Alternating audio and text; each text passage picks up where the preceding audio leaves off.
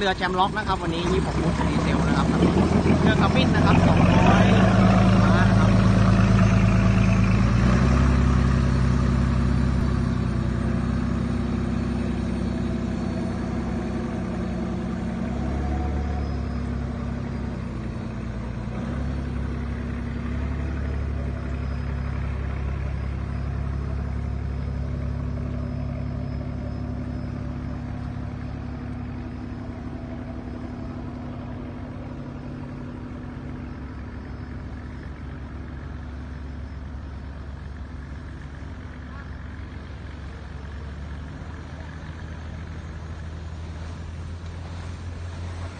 พื้นใช้ได้เลยนะครับวันนี้